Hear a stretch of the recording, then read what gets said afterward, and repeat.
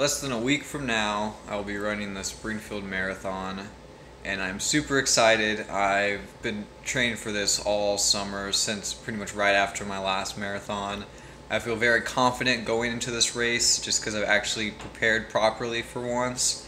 I really decided to get serious for my marathon training, and I think it's really going to show results for it. Uh, I'm gonna leave on Saturday to go pick up my packet, check into a hotel, and then uh, Sunday morning is when the race actually starts. It starts at seven. I'll probably do like before race vlog and kind of just put it all together. Uh, but yeah, this is really exciting. Um, my legs are feeling great. This last week has been uh, just speed runs, either at race pace or faster and my legs are feeling great, uh, better than ever. And this, uh, I have about four more uh, short runs. There's going to be easy runs this week to just keep my legs active, but I will make sure that I have fresh legs for this race.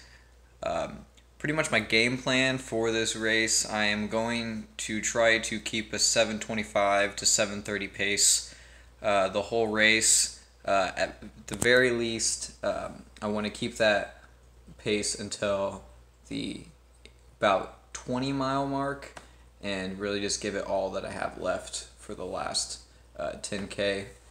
Um, if all goes well, that's will be what will happen. Uh, I have no doubt that I can do it just because I ran 725, 730 pace for the first half of uh, the Illinois Marathon, and I was in terrible shape back then. So with my current condition, like I said, I have no doubt that, that will happen. Uh, and I'm really excited for that. I will keep you guys updated on the race. Um, I'll probably post one big video after it.